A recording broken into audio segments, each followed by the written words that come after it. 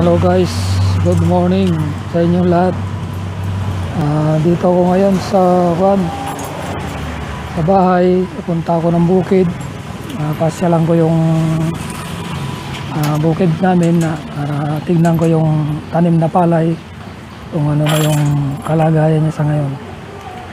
Okay guys, salamat sa Juan sa panonood nyo. Nawa patuloy pang tangkilikin ang aking mga video.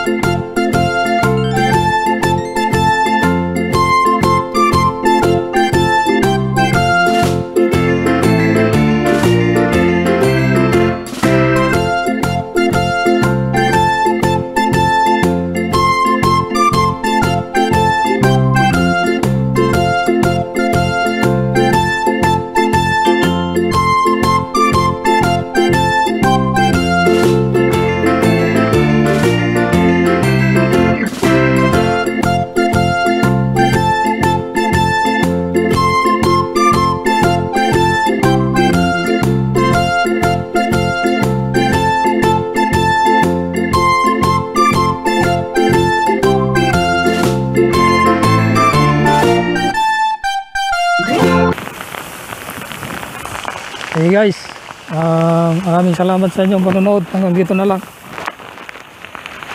Lakas ng ulan. Bye bye. God bless.